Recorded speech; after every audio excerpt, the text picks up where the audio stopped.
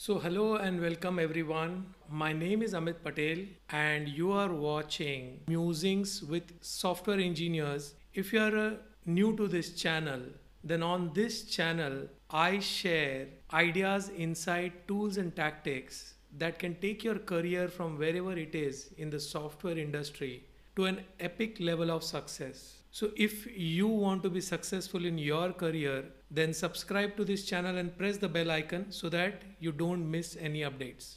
Let us begin.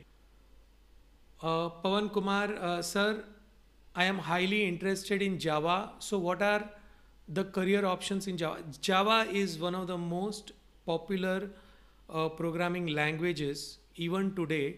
Uh, Java started uh, off in 1990s where it was competing with uh, other programming languages and java started as an open source programming language. So a lot of companies started using java as a programming language of choice.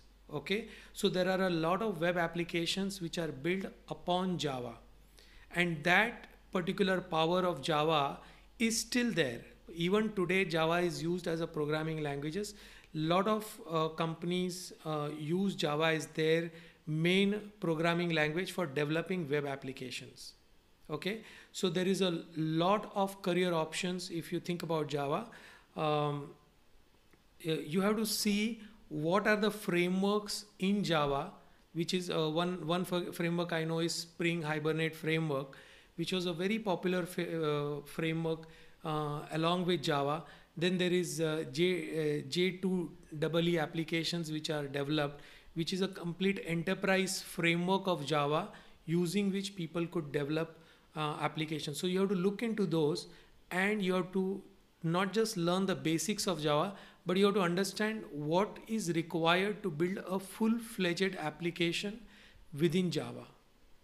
I will be linking my program how to become A players. If you are already in a job and if you are thinking of growing in your job, then this how to become A players will help you.